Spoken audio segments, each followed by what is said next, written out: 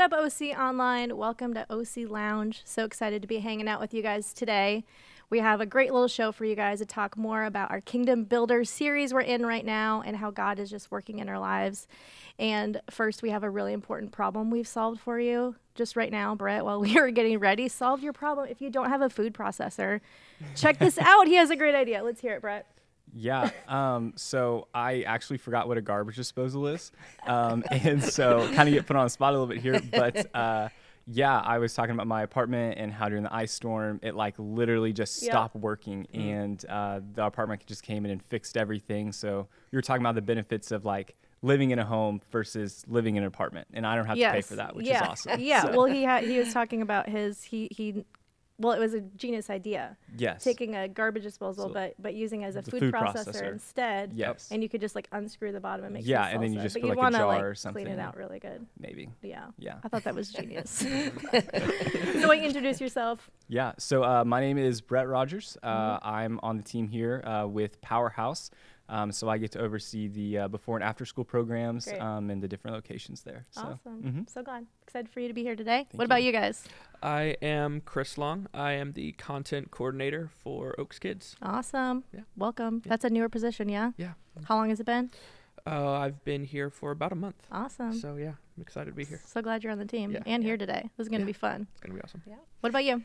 Well, I'm Connie Kell, and I also am on Powerhouse, and I'm the pastor, and I oversee the before and after school care and Parents Day Out here at our church. Love that. So Yeah. cool. Great. Well, we're in the Kingdom Builder series, like I said. So we've been talking about how God just gives us a provision for the vision. And so we're going to be sharing some of our own personal stories today about how God has made that happen, how he's done the miraculous in our own lives. We just want to share that with you guys. So if you want to let us know in the chat that you're here, um, give us any shout outs throughout the way or any testimonies of what God's doing. We want to celebrate that with you guys. So let's talk about that for a few minutes. Let's dive in. Um, in the series, what's been standing out to you guys? What are some of the stuff that they've been saying in the messages?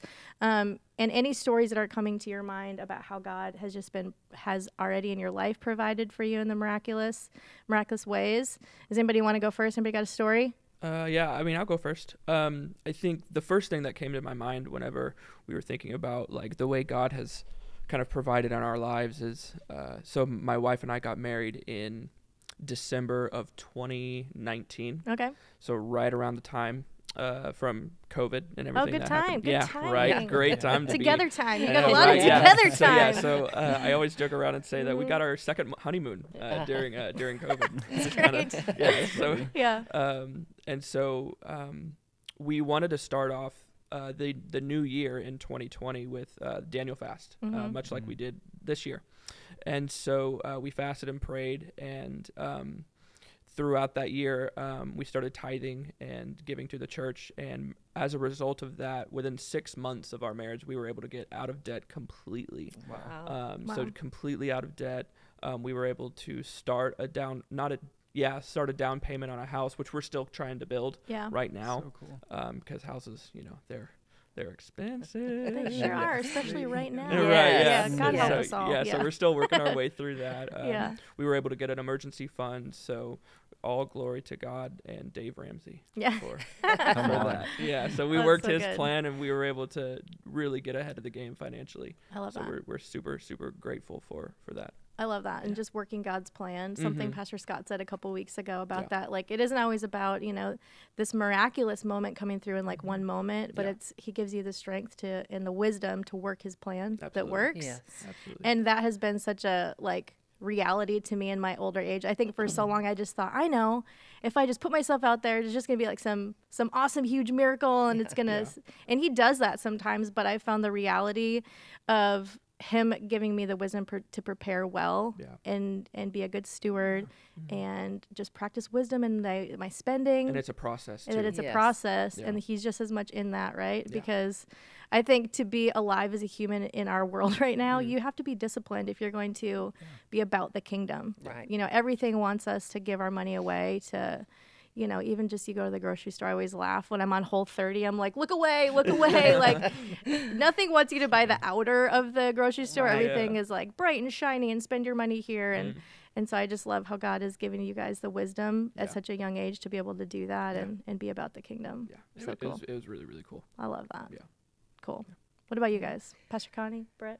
I've just really been encouraged by the word, just the way he's just been sharing different stories because I think we all, no matter how old we are, it's encouraging to hear different people's testimonies Yeah. and to be reminded of just how faithful God is. That's right. And one thing that stood out was when Pastor Scott talked about, um, you know, being out there and having to give that offering away as soon as Yeah. before it even got in his hand. Yeah. And it just reminded me, um, and really I'd kind of forgot about it, but God kind of did that with me years ago when um, my first husband was killed in a car wreck and we owned businesses and things. And one day God just said, I want you to sell everything Yeah. and move away. And, you know, young, being younger, it was easier to say yes and do that. Um, I moved away and my kids went to a smaller school. But then I remember thinking, oh my gosh, what am I going to do? Lord, you told me to move. Yeah. We buy this place. Now I don't know what I'm supposed to do as far as work. And he had called me to go out and to teach and to at different schools and churches and things. And I remember being in a hotel room one night saying, Lord, you know, I don't know how I'm going to make an income to pay for, you know, my family because the girls were still in school and we were busy. And and I remember crying out to him. And at the time um, Mark and I were just we were engaged but we were not married yet and he had stopped by the house to check on our mail and there was a check in there from an oil company and they had not dug oil on our land, but they did a horizontal drill and tapped into our land, and we got this huge check. And that check has came every month. Not as big as it has, Yeah. Yeah, yeah. but God reminded me then when I ask you to do something, Yeah. I'm mm-hmm. gonna make a way for you. Oh, yeah. So it's that Yeah. provisions, you know. Oh, man. He gives us a vision. He will give us the provisions when we obey. That It's is good. I literally thought that when you're somebody, he literally made a way Yeah. where there was no way. He, like No drilled way. sideways to make a way. Yeah. yeah. That so that cool. really Awesome. opened my eyes and and really it took me to a whole nother level of trusting god mm. Yeah. when he says you know i want you to do this it's a little easier to open my Yeah. hand and let something go mm-hmm. because I've of seen that. in you in like the 10 years or so I've known you. I've just Yeah. known you're a person. So knowing that faith has been like through God com- coming through for you and you seeing it. I've just known that about you. You've told me stories since I've known you. yes And I've loved watching your faith. It's Aw. really strengthened and encouraged me. I feel like we could sit here all day and you could just mm. tell us more stories. So be thinking of some more because I just want to hear more and more of those stories. I love it. love, I love how God did that god for you. good Yes. Amazing. And he does sometimes send checks in the mail. Yes he does Yes, Sometimes does. he does it through the slow, Yeah. like, but sometimes he sends a check. yeah It's cool. Mhm. I love that. All right, Brett. No pressure, but you got something. Okay, I gotta like match these guys. They have like Okay. really big stories, right? Yeah, right. Um, no, mine. My story is um, it happened in 2020, um, and I was tithing and um, just doing a lot of things, working here at the church. You know, just doing my you know standard 10 percent is what we're called to do, and um, randomly uh, the Lord like said like your your trust is misplaced with your money, and I was like. All right, that's like a super casual thing just to call me out on. Like, thank you. I appreciate that. Sure. Um, and I was like, okay, what do you want me to do? He's like, just give 40 extra dollars, uh, uh, like a paycheck. And I was like, okay, like 40 bucks, like I can do 40 bucks, like, you know, that's fine. And at that time, uh, to kind of put in uh, context, like I was saving up money to um, buy the engagement ring for my, Okay. my wife now. And so then I was also in a leadership program uh, that w- was in the Oaks uh, College. I was in a different program that was in Atlanta and um, I was choosing like either I pay this money to go to this program or I save money to buy a ring. Um, so obviously I'm saving money to buy a ring. I mean, yeah, like that's priority.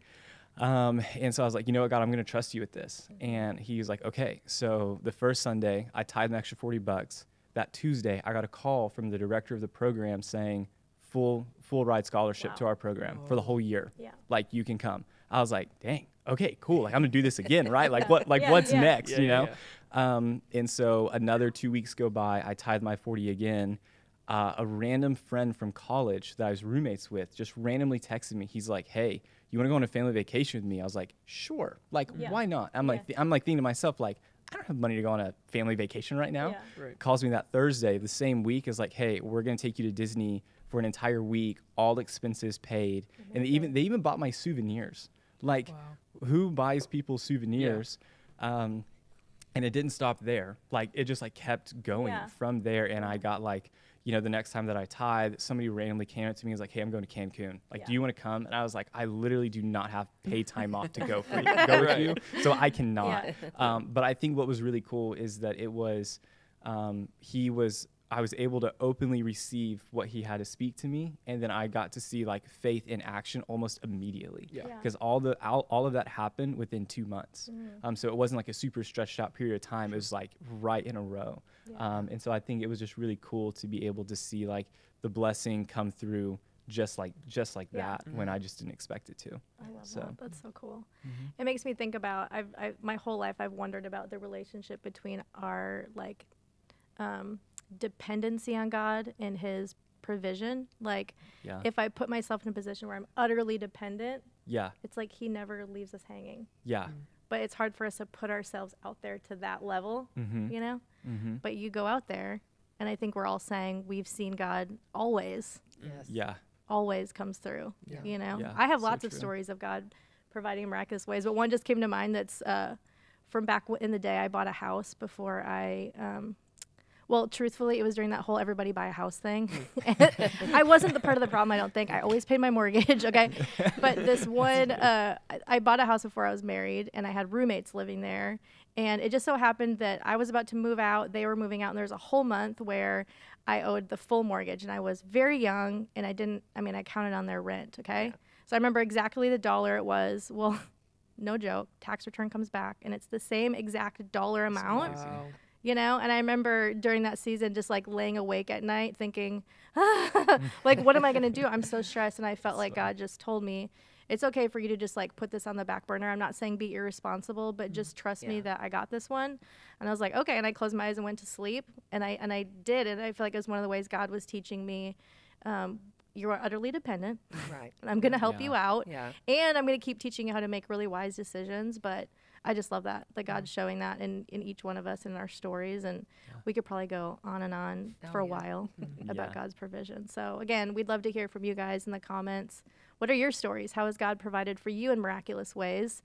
Again, we want to celebrate with you guys and, and just keep cheering you on as you live a life that's obedient to God, that is for His kingdom, and valuing the things of the kingdom. So, um, I think Pastor Connie, would you? I would love for you to like pray over us. Again, I was saying your faith has challenged me in my life and has inspired me to trust God more. Would you pray for the people watching today would as they to. are learning to do that more and more? Yep. Okay. Father God, we just thank you so much that you give us this mm-hmm. opportunity to serve you, to be a good steward towards you. And I just pray for those, Father God, that have that just are nervous about taking that first step. Mm-hmm. Sometimes that's all it is, is the first step. Um, I just pray that you would encourage them and that they would just be able to trust you and and Father God, I know that sometimes it's we don't see miracle take place right away, mm-hmm. but it's your faithfulness mm-hmm. that you always provide no matter what. And that is the one thing I can say is no matter what you've asked me to do, you have continued to provide. And I pray that for every listener out there, that you would just continue to provide for them and encourage them to hear your voice and to obey your voice Yeah. Mm-hmm. just to trust you. You are a good father. And I pray that everyone listening today, Father God, would trust you as a good father and know that you have their best interest at your heart. Mm-hmm. In Jesus' name, amen. Amen. Amen. Thanks, Pastor Connie, for that Yes, blessing. ma'am. I want to give you guys a chance if you had like a closing thought on generosity, on kingdom builders, on anything that's going on, anything you want to add to this conversation before we go. Yeah, I, I think what's what's great about all of our stories that we've had is like we're able to look back on those moments where God has provided the next time that he asks us to do something. Yeah. And we're scared Yeah. of like, oh man, how how is this gonna happen? But no, but remember when this happened. Yeah. Remember when you know this check in the mail came. Yeah. Remember when I was able to get you out of debt in six months. Remember when this happened. Remember when this happened. So Right. he's always God is always like looking at us saying, "Come this way. Like I got you." Like you can look back at all like that went wrong, or you can look back and say, "Look at how I have provided for you." Mhm. Yeah. The next time that he asks us to take that next step. Oh, that's good. Mhm. That's good. And I'm believing that for everybody listening, that that will be Yeah. your perspective soon. That Yeah. you'll be able to look back and see, I remember when God did that, and therefore I can have Yeah. big faith right now. Yeah. Yeah. So I love that. Yeah. Thanks for sharing that, Chris. Yeah. What about you, Pastor Connie? Well, I just want to encourage everybody to don't be afraid for that first step because sometimes we take them and we take it for granted. But one thing that I've always done is journal, Yeah. and I can Mm, look back and be reminded of God's faithfulness. And Yeah. so sometimes it's not just a matter of of doing it, but also writing down what you've asked for, so that you can be encouraged when you look back and see how God's answered those prayers. Love it. Have eyes to see it. Yes. So good. Thanks for sharing that. Yeah. Yep. Love that. Yeah. Anything? Yeah, I just think that um, uh, Putting you on the spot. I know, right? Just throw, just throw it over here. I know, I love it. Um, no, I think was I think it's just cool to be able to be a part of the family of Christ and just know that like generosity, like there's a blessing in generosity, and it Yeah. feels weird to have to give something away to get something in return. Right. But every time that we get something back, it's way more than we gave in the first place. Whether Yeah. that's either uh, a financial blessing or like an actual breakthrough Yeah. that like you've been fasting for, praying for um, in your family. I just love the fact that like n- it just never returns void Yeah. when we're open and we're Yeah. generous with our money Yeah. or That's so good. finances. Well, and I think too, one thing that God just reminded me of is I remember driving down the road one day and I seen a lady on the side of the road and she was obviously homeless and had her cart and she was walking into McDonald's and God said, go give her $20. And I was like, okay. So I turned around and went in there Love it. and God had me hand it to her and tell her that God loves you. Mm. And I can't say that I got something from return, but what I did see Yeah. is that was coffee time. So there was Yeah. a bunch of people Yeah. in there having their morning coffee, and everything got still. And you could just feel the presence of God mm, in that moment. Yeah. And so even that obedience wasn't that mm-hmm. I was going to get a miracle back, Yeah. but it was what God wanted to do, and He trusted me That's so cool. in that moment. And so sometimes it's it is, you know, we're talking about money and provisions, but also it's that step Yeah. so that God can make sure He's getting the glory I love and, that. and Yeah. touching the hearts in the So way. true. I love Yeah. that. And I think too, like you know, like you said, like you may not get something in the physical, but something happens in your heart and in your soul Yeah. that's far greater than anything that you could get in in the physical, like Yeah. in the Yeah, so material. Yeah. that you know, not every time you give is is is it gonna get be returned, like you Mhm. said, Yeah. but you know and i even think that there's even psychology studies of like what happens like in your brain like in in your actual brain whenever you give it's like all these It's got to be serotonin or something. oh yeah, like like endorphins or Exactly. some kind of Yeah. chemical or something Yeah. that that gives you like That's cool. this this feeling of good Yes. whenever you give Yeah. Oh man, Yeah. Yeah. big time. yeah I think a gift we get too when we do give is like sonship and daughtership. Mm-hmm. And it always Oh, yeah. reminds me of when I was growing up, my dad would always say, Hey, pull the car up here and let's check your oil. And I Yeah. and I thought it was such a cool picture of, of who God is because, you know, he could have said, Go get your oil changed. Right. Or he could have said, I'll do it. But he said, Let's do it together. Yeah. You know, and so getting to partner with God Yes. in his work here, Mhm. I get to be in his business with him, and that's way more satisfying than anything else, than any Right. gift I could get. And I love me some gifts. I really do. I love getting gifts. yeah But I've found the older I get, the more it really does feel better to give than receive. Yes. it's Right. weird. Yeah. I never thought I'd say that, but it really is true. It, It it is feels true, really, yeah. really good. Yeah. So True. I love that. You guys are wise. Thanks for sharing Oh. with us and sharing your wisdom today. It's been fun hanging out with you guys. Yeah. Yeah. so good. So we got some fun stuff happening around here at Oaks Church as always. So Yeah. check this out. We've got revival nights starting. We already started uh, last week, so we're on week two, and we're going to keep rolling. So revival nights. We hope we're seeing you guys there, either in person or online. We've got a great experience online for you. So we'd love to see you there. Um, we also have Oaks Women Night coming up. Yes. February go. 26th, coming up really soon. uh, that's for all the women. Join Yeah. us online or in person. We're going to have fun stuff here on campus if you're able Yeah. to, to make it. And then anybody else want to talk about Splash Party? Anybody? Ooh, I'm excited about Splash Yeah. Party. Yeah. Actually, I'm I'm excited about this one coming up, but I'm excited about next month because two of my grandsons are getting They are. Yeah. baptized. Oh, I love yes, that. so Awesome. I'm really That's I love that. That's Yeah. so Exciting. cool. I love it that families can come together Oh, and man. celebrate and be a part of that. It's such a cool experience. I've never been a part of a splash party Okay. yet, Uh-oh. but I'm super excited about it. It's gonna be fun. it's I love cool. that. So Yeah. cool. You can check out all that online at Oakstat Church for signups, all the info, everything you need to know there. We love to see you online or in person. So thanks again for joining us today. We hope you have a great week, and we just love getting to do this with you guys. Bye.